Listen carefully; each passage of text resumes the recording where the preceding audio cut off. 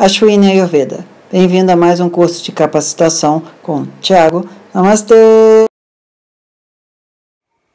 Bom, depois de é, uns 3, 4 anos batendo cabeça, dando curso de Ayurveda mais saúde, psicologia védica, etc e tal, finalmente o divino entregou a ferramenta e, digamos, o know-how para a gente começar a fazer essa metodologia do Ashwin.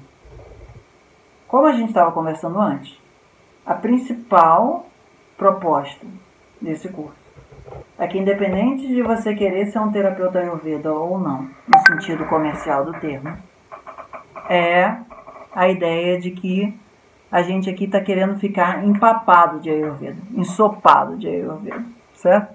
Ayurveda com cabelo cheio de óleo. no sentido de que uh, a gente está querendo buscar uma vida de acharya, de Ayurveda. Uma pessoa que vivencia o Ayurveda. E não exatamente só lê sobre o assunto discute sobre o assunto, tem um monte de informação escolástica sobre o assunto. E na prática não, digamos assim, vê na pele como é que sente. Certo? Eu, quando estava fazendo a minha a graduação em economia e o meu mestrado em políticas econômicas, eu estava muito buscando uma forma de que a gente pudesse ter uma economia mais sustentável, um meio ambiente, etc. E tal. Eu cheguei no momento onde eu vi que as pessoas tinham informação do que, que tinham que fazer, tinham em algum grau poder político do que fazer tinham ah, um momento institucional para fazer, mas no geral a coisa não acontecia. E por que que essa prática do desenvolvimento sustentável não acontecia? Porque a gente tinha hábitos e os hábitos não necessariamente eram fáceis de mudar. E aí com a Ayurveda, com a parte de psicologia védica, com a parte do meu movimento espiritual que estava acontecendo naquele momento todo, eu falei, ok, o economista precisa sair do palco, Thiago Namastê está, digamos assim, empurrando a porta para uh, aparecer. E a ideia fundamental do acompanhamento terapêutico no Namaste Coaching, nessa época ainda não tinha esse nome, é que a gente tenha uma capacidade de desenvolver consciência e mudança de atitude de uma maneira efetiva. Ok? Então, o Namaste Coaching não é um acompanhamento terapêutico Ayurveda estrito senso. Ele não está ali para você saber se você tem que seguir a rotina Vata Pitokapha porque você é da Constituição XYZ. Ele está ali para você ser um ser mais consciente e capaz de alterar a sua rotina. Certo? Eu, com meu, digamos assim, viés bastante pragmático, ascendente Capricórnio, etc e tal, pelo menos no de outros, a ideia é que eu busco resultado. E não importa se aquilo está escrito num texto clássico do Charak, não importa se eu aprendi aquilo com Rugi, não importa se eu aprendi aquilo com Vacentilado, não importa se eu aprendi aquilo meditando. A bodega tem que funcionar. Ok? E a ideia do Namaste Coaching é um programa em constante transformação no sentido de ajudar as pessoas a terem mais consciência sobre o seu processo de saúde com vistas a um desenvolvimento espiritual. Ou seja, essa metodologia do Namaste Coaching não acredita que o nosso objetivo é simplesmente estar sem padecimentos no nível fisiológico e psicológico. A ideia, eu acredito ser do Ayurveda, mas dentro desse Namaste Coaching a ideia é que a gente esteja pronto para o nosso desenvolvimento espiritual. Por exemplo, sessão que vem a gente vai conversar lá sobre os Purushartas, etc., do Dharma, Artha, Kama e Moksha. Bom, e a ideia é que de alguma forma a pessoa precisa ser preparada para esse processo de despertar espiritual. Daí vem essa metodologia do Ayur Baby, do Ayur Child, do Ayur Teen e do Ayur Adult. No sentido de que, primeiro, essa metodologia tem a função de fazer com que o Agni da pessoa, a base, a fundação da casa seja bem feita. Antes da gente falar de espiritualidade, a gente precisa limpar o lixo grosso de ama do caminho. A gente precisa fazer com que a fisiologia da pessoa esteja menos emporcalhada. Depois disso, depois de um ano de acompanhamento terapêutico, onde a gente já passeou pelas estações com Vata Pitta etc e tal, a pessoa já tem mais consciência sobre si, que é o nosso grande objetivo. E a gente começa, na terceira fase do acompanhamento terapêutico, a olhar para a mente, no sentido de se desidentificar com a mente. E, eventualmente, depois de um, dois anos de acompanhamento terapêutico, às vezes isso é mais rápido, às vezes isso é mais longo, a ideia fundamental do Ayurveda é entender que a saúde vem da conexão com o divino. E todos os processos patológicos, sejam eles kármicos, sejam eles psicológicos, sejam eles fisiológicos, vêm pela desconexão do divino. Mas falar isso para a pessoa na primeira sessão, no geral, não vai adiantar nada. Então, a ideia é que existe um processo de coaching, um processo de aconselhamento, que facilita a pessoa a conseguir chegar num lugar alto da montanha, no topo do Everest, que seja, sem que ele se mate no caminho, ou seja, sem que ele desista, sem que ele ache que a vida é muito confuso, etc e tal. Então, tcharam, temos o Namaste Coaching, ok? Aí a questão é de como transformar o Namaste Coaching, uma metodologia que eu de alguma forma venho aprendendo e continuo reaprendendo, em um programa que outras pessoas em algum grau podem reaplicar ela, ou de uma maneira muito parecida, ou de uma maneira semelhante, ou de uma maneira bastante diversa.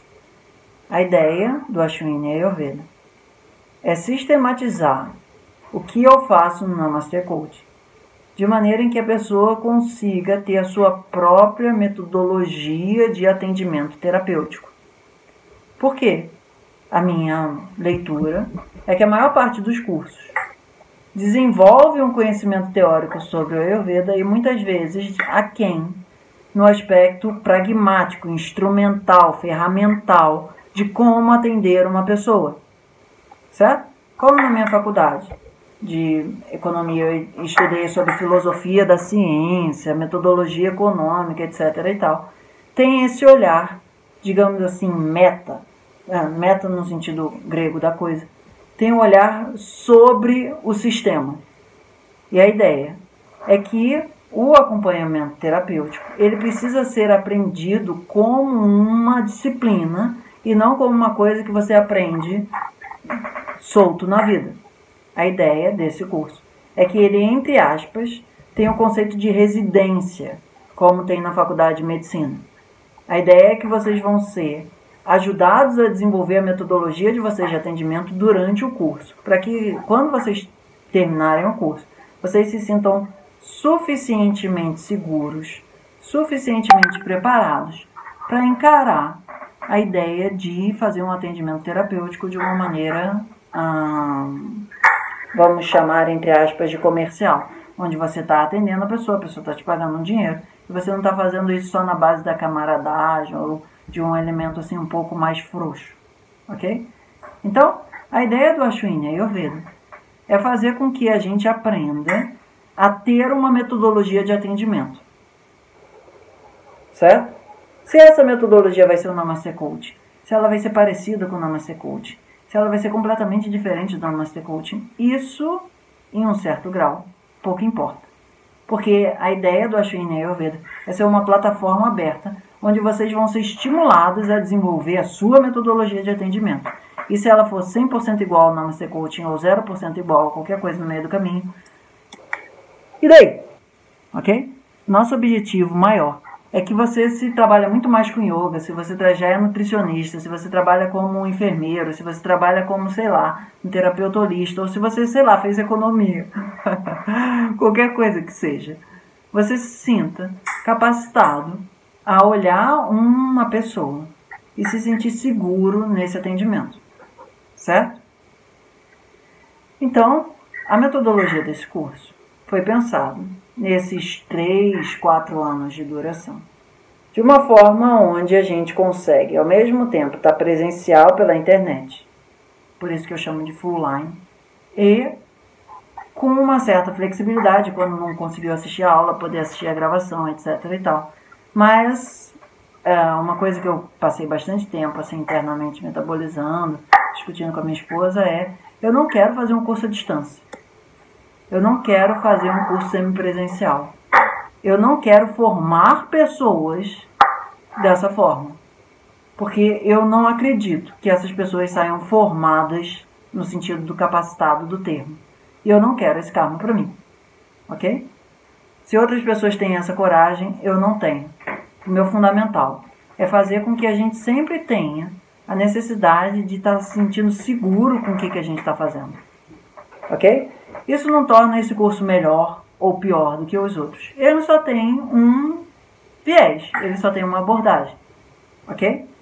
E a ideia é que nesse formato de uma turma com 12 a 18 pessoas, com encontro semanal, etc.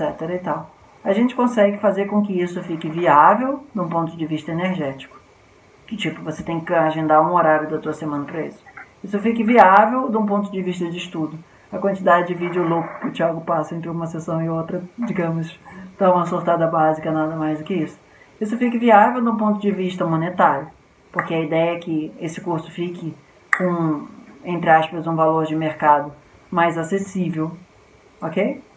E que a gente, entre um módulo e outro, você consiga eventualmente mudar de turma, se isso for possível, você consiga parar e eventualmente entrar numa outra turma. Porque muitas vezes o que acontece é começa uma turma com 50 e o negócio vai esvaziando e termina com 5. O que, que eu quero dizer? A ideia de começar com uma turma e levar essa turma durante sete meses ajuda a pessoa a achar que dá para gestar aquele módulo sem ter que surtar dizendo que vai ser dois anos, cinco anos, etc. Mas a ideia do Ashwini Ayurveda é uma capacitação de quatro anos. Só que se eu falar isso para a pessoa, ela vai tipo, putz, não vai dar certo. Aí eu falo, não, fica tranquilo. Se você quiser fazer só sete meses, um módulo, não tem problema, você vai sair com uma capacitação daí. Se você tiver que fazer depois outro módulo, porque você, sei lá, mudou de país, você não podia continuar. Então ele dá uma flexibilidade por um monte de condição que a vida moderna demanda, certo? Então a ideia é que quando eu comecei a fazer o curso com o Sanjay, um, do, pela internet, do grupo do estudo do Ashtanga Hridaya, apareceu essa ferramenta do Zoom, que ela, digamos, era a cereja do bolo tecnológica que precisava para que a gente possa ter tanto a gravação e eventualmente a disponibilização dos arquivos, a gente ter todo mundo eventualmente podendo participar com vídeo sem que a internet caia, etc e tal. OK? Então, a gente com essa metodologia consegue conciliar tanto um Ayurveda ensopado, né, lá empapado, como a gente estava falando no início da sessão, mas também a gente consegue ter uma flexibilidade da vida moderna que a gente está fazendo um ensino presencial pela internet. Por isso que esse curso se chama Full Line. Ok? E a ideia é que conforme vocês vão passando de módulos, a ideia são os três primeiros módulos ser a parte básica do curso, que é o Ayur Baby, o Ayur Child e o, entre aspas, Psicologia Védica. Aí o quarto, quinto e seis a gente vai ah, conseguir fazer coisas mais específicas e mais avançadas. Mas pelo menos em algo próximo a dois anos, a pessoa vai ter um básico de uma metodologia de atendimento. E essa é a ideia. Dois anos é a formação básica, estrito senso, que sem isso a perna ainda está muito frouxa. E quatro anos é a metodologia apropriada, que a gente vai ter um estudo de fisiologia mais aprofundado, um estudo de herbologia mais aprofundado, que é necessário para a gente começar a ter uma capacitação de Ayurveda num, num, nível mais parecido com uma universidade do que um curso de dois anos de final de semana por mês, que é o que na média a gente no Brasil hoje em dia consegue fazer. Então a ideia do Ashwini Ayurveda é levar o nosso sistema para um, um, um prumo, pensando mais como uma universidade de 5, 6 anos, e não exatamente um curso de dois anos, que é o que, a, a, digamos assim, institucionalidade brasileira no geral acha normal hoje em dia. E, a meu ver, a gente merece dar um passo adiante. Todo mundo vivo, todo mundo no barco. Alguém quer comentar? Informações sobre a próxima turma, cursosayurveda.gmail.com